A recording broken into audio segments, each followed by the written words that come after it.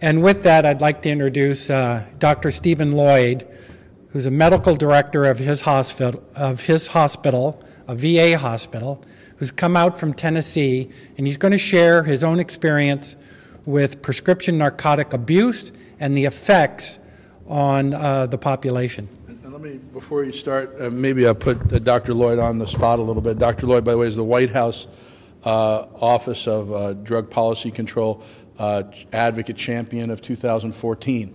So he's working with the White House, and he. I, the one question that I have, and we've spent a couple of days together, I'd love, you know, for you to hear more about his story, but also is why do you think the medical profession in California, the medical establishment in California, is opposed to Prop 46? And do you think the medical profession is actually going to benefit from this uh, as opposed to the medical lobby? Thank you. Thanks, Bob. Um, in asking me the question about why the medical profession would be opposed to Prop 46, I think the, the first thing would be uh, probably the, the, the raising of the, of the malpractice cap, and that's not uh, within my purview of, of, of, expertise, so I'll, I'll leave that one alone. Uh, the, the second reason would be for the mandatory drug testing of, of physicians. And I think for that one, it's because we view addiction as a, as a moral disease. Uh, addiction is not a moral disease. Addiction is, a, addiction is an organic disease of the brain. It's like high blood pressure. It's like diabetes. And I would, I would uh, I would ask that you think about it in those terms, and, and it is a silent disease. I can tell you that every morning during my active disease, and, and I was at the I was at nearing the bottom at the time that Bob was losing his family uh, 10 years ago. And every morning I woke up and I would get up out of my bed and I walk into my bathroom and I would look at uh, pictures of my children on my on my sink when I was getting uh, getting ready for work every morning and I would cry uh, knowing that I couldn't stop and I would throw a handful of pills in my mouth and go off to work for another day. And I thought that I would die in my sleep. I thought that's how my life would end. And the shame of telling someone that I had addictive disease, I couldn't do it. And that's the way my life was day after day. And I had a disease. And I looked at it as a moral failure. And so long as we look at it as a moral failure, that's what we'll be destined for. So I think that doctors look at it as a, as a moral failure. It is not. And I think that drug testing will allow us to uncover, uh, uncover it as a disease that it is, and will allow us to uh, bring doctors out of the shadow who are suffering from addiction, allow, allow us to treat them, and put them back into the profession where they are not uh, endangering the lives of others. Uh, this is a patient safety position, like an airline pilot, uh, like a bus driver. And, uh, you know, I, I, teach my students all the time, you know, when I'm, when I'm on the airplane coming out to the Bay Area. Uh, it says if we lose cabin pressure, put the oxygen on yourself before you put it on the on the per person next to you. That's because if you can't breathe, you can't do the person next to you any good. I teach my students that in the doctor-patient relationship in the room, um, you know, who's the most important person in that relationship? And the students and residents always go, well, it's the patient. No, it's not. It's the doctor because the patient doesn't stand a chance if I'm not healthy. And I would say that the medical profession needs to approach it that way. That in order for me to do the patient any good, I have to be healthy myself. And for us to do any good as a profession, we have to identify those of us that have addictive disease. And the easiest way to do that is with mandatory drug screening. So don't look at it as an opportunity or a, don't look at it as a punishment. Look at it as an opportunity to us to reach out to those that we know are suffering. We know that there is a point uh, that there is a two percent point prevalence. You have hundred. Say if you have hundred thousand doctors in the state of California, and I don't know how many you do have, but uh, two uh, percent of them are addicted to substances right now as you speak. Whether or not you want to admit it, that's the truth. I would say that we reach out to them because they are putting others in harm as a result of their addiction. There's anywhere between a 10 to 18 percent lifetime prevalence of addictive disease. I say we reach out to them and help them, try to get them healthy so that they can help others instead of put them in harm's way. And then the, other, the last reason that, that would be objected to this, uh, to Proposition 46, would be uh, time spent to check the monitoring database.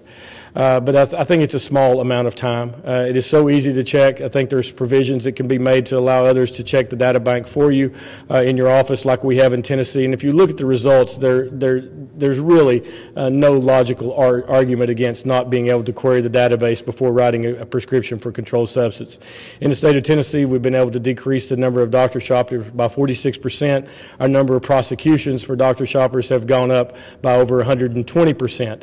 I had a question asked today. It says Proposition 46, saving lives. Where's the saving lives?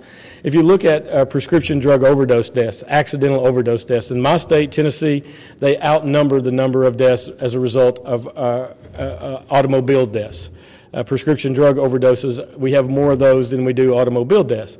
Well, that is a, if we can cut down on the number of doctor shoppers, we can lower the number of overdose deaths from prescription narcotics. That's where the saving lives comes from. The saving lives comes from uh, not having doctors that are impaired causing damages uh, to patients that, that would not be uh, damaged otherwise. So uh, the benefits greatly outweigh the risk, and I agree with Jamie and Carmen that, that the cost uh, will, will be very minimal, and I think it'll actually save money in the long run, and I think they have the statistics to back it up. And that's why I've flown across the country uh, to support Proposition 46. Do you want to talk at all about how it's worked in Tennessee? Uh, in terms of the, the mandatory check? Because Tennessee is one of two states, and, and uh, a little bit about that? Or, absolutely. Absolutely. Uh, the Prescription Safety Act of 2012 that was enacted uh, required the doctors in the state of Tennessee to, uh, to query the prescription monitoring uh, data bank before writing a controlled substance for more than seven days, and to query the data bank yearly for ongoing prescriptions. Uh, I can tell you that the results are uh, nearly instantaneous. Uh, we're allowed to have someone from our office query the data bank for us. Um, and the results to me have, have just been outstanding. Um, and there's usually no gray areas. Uh, you know, it's not like that somebody is just on the on the borderline of doctor shopping. Usually, it is uh, very clear cut. Uh, the patient will be seeing you know multiple uh, doctors, going to multiple pharmacies, and the thing that I've noticed the most about it is that it doesn't match what my gut tells me. My gut tells me, oh, I need to watch out. This patient has a lot of red flags. And then I check the monitoring database and it's, it's clean as a whistle. And then other patients I look at and go, oh, there's a lot of red flags here. I need to really be careful with this one. Uh, and then, uh, you know, I check the, I check the monitoring database again. N- no issues whatsoever. Another patient I check, I'm not worried about at all. And then boom, 10 doctors, 12 pharmacies, three months. So what the uh, monitoring database gives us is something that is objective. Okay, it's not it's not shaded by anything else. It's not uh, it, it is not colored by any of the preconceived notions that I have. It is the single best tool that I have on a daily basis to uh, to combat the problem of prescription drug abuse, and it takes almost no time away from my uh, from my face-to-face patient care. I'm sorry, one more question, I promise. Uh, but since you're so rare to have a doctor to discuss this, can you talk a little about um, uh, why your colleagues and maybe other colleagues might not, uh, if they know it, if they knew a, a, doctor was abusing a substance, how would they respond, and how, how did that, that work in your case with, with your colleagues, and and how, as someone who was, as you said, intervened on which, which your dad's here. Maybe you could talk a little about how he did that. Uh, how did it feel when that happened to you? When it, when it comes to intervening on a, on a doctor, it is, is really hard. We're one of the few professions that's in, that has been entrusted with monitoring ourselves, and, and we fail greatly in that responsibility. And, and, and the issue is, or the problem is, it is so hard to do we don't want to get involved. We don't want to hurt someone's reputation. We don't want to be responsible for them getting in trouble with their state medical boards. We don't want to be responsible for uh, hurting their livelihood.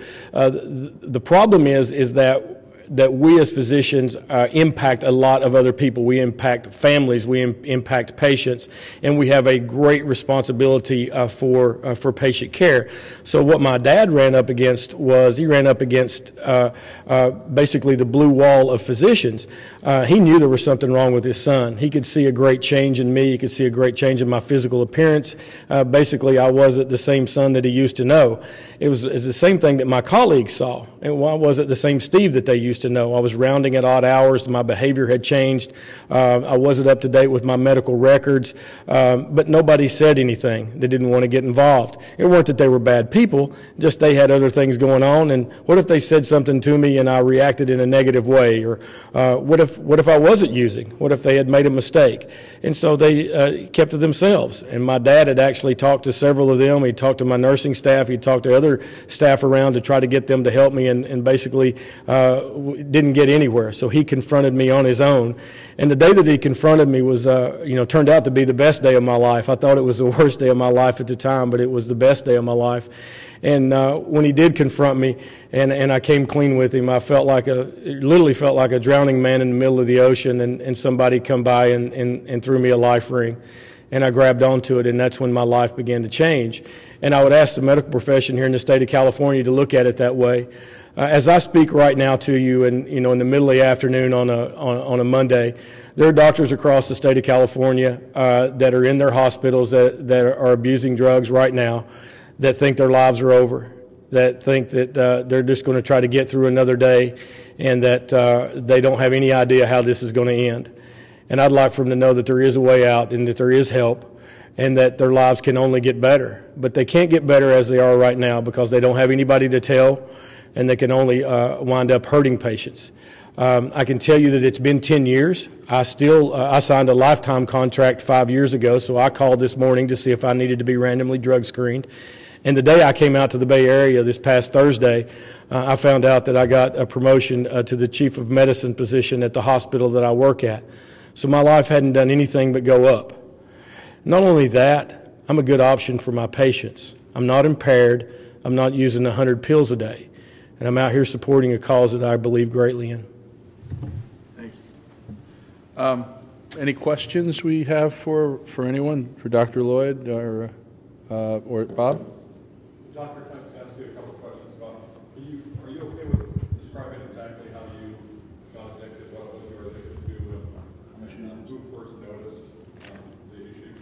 You bet. Uh, any questions, fair game. Uh, the person that first noticed was me. Uh, I remember the day that I went from taking one to two. Um, it got to the point uh, that that day that, that I went from taking one Lortab per day to two.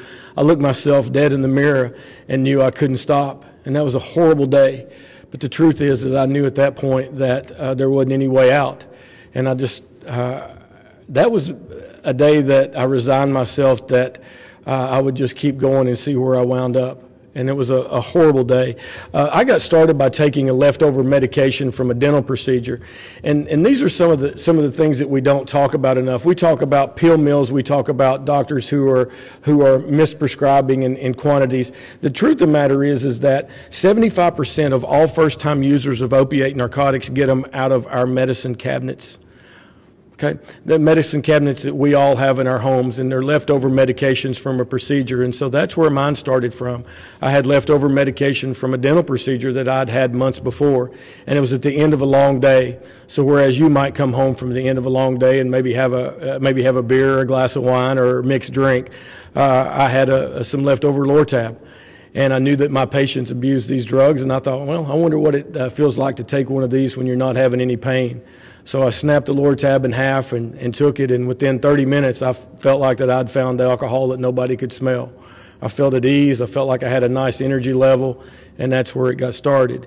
And within three and a half years, I was using about 500 milligrams of opiate narcotics daily. Have you run across any other doctors in your profession who, you know, show those signs that you could identify? Have you, have you intervened with other doctors? Oh, a lot of them, yes, sir. Uh, I have, you know, if you'd have told me that I was going to be doing what I'm doing right now when I was in medical school, I'd have thought you'd lost your mind. Uh, I've intervened on uh, on a lot of doctors in the in the previous ten years, and um, it's interesting the reaction that I get. Um, sometimes it's what you might expect. I have things said to me that, that probably don't bear repeating in, in, in, in this scenario or this situation. But most of the time, it's, it's, the, it's the reaction that I had uh, when my dad intervened on me. And it's a feeling of relief and tears. Um, I cried for, gosh, I cried for two weeks, I think, that somebody finally knew. And then when I figured out I could get better, uh, that was a, a huge relief, and I figured I, I, I figured out or, or learned that that I had a very treatable condition uh, was an even bigger relief. And so, as I intervene on doctors and they start to see the same things and they start to see that they don't have to live their life the way that they've been living it, uh, it's the most fun I've ever had in medicine. The thing that I love the most about where I am right now is not having to chase pills every day You think about whenever you get up to 25, 30, 40 pills a day, and you have to have that many every day, and the grind it is to come across them. Think about what that takes every single day. Uh, it's it's such a relief to not have to do that. And then I think about what good I can do with those experiences. And I get people ask me all the time, you know, are you ashamed of that? Or you do you wish you could do it over and, and not had to go through those things? And my answer is always the same. No. I'm glad that I had to go through those things because that's what I use to connect with people now. It's the experiences I use to connect with folks. It's the experiences I use to be involved with people like Bob Pack now and people like Jamie Court. It's why I'm out here now. I want the doctors of the state of California to realize what I'm talking about. The things in Proposition 46 are, are not to punish anybody. They're to make uh, the patients uh, of the state of California safer. They are to impact the impaired physicians of the state of California in a positive way to keep them from harming patients uh, and to take them out of situations where they can cause patient harm and get them on a road uh, to recovery themselves. Dr. Wood, I've, I've had people say to me, you know, hospitals and pharmacies, they account for all these dangerous medications. Right. Doctors can't just get all these pills and use them at home. That's a nice fairy tale land they're living in. Uh, that's uh, simply not the case. There's a lot of things that have been created to prevent diversions, Pyxis systems, all kinds of accountability systems, and I can tell you uh, that there's a way around every single one of them. At least there has been in my experience. Uh, it, if that's the case, I mean, how do you divert thousands and thousands of pills? I mean, uh, I was able to divert a fair number of them myself, and uh, there's there's just not a way to safely uh, account for all of them. Uh, there's there's a hole in every waste system. I will guarantee you. I mean, you were taking dozens, a hundred pills a day, where'd they come from? Absolutely. Well, the, the one thing that I, I wish that I could take back uh, is that I used my friends. All of my friends are doctors. Um, and that's just the nature of the beast. And I wish that I could take that part back, was because these were folks who thought they were helping me, and they were not improperly prescribing. They were good folks, and I took advantage of my friends. And I do wish that I could take that back. But that was the bulk of my source. Let me, uh, if we can technologically do this. Uh, I'm going to try to open the phone line, and see if anyone has a question. Does anyone on the phone line want to ask a question? Hello? Okay, well.